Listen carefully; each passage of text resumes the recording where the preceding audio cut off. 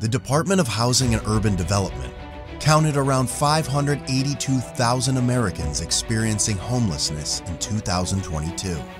In 2023, it is expected to be more. Come join us as we are on a mission to take these beautiful souls off the street and into God's shelter in Maine and help them get back on their feet, reconcile with friends and family, heal from addictions, find work, find housing, and much more, all to assist with getting back into society. And best of all, we teach and heal through God's Word.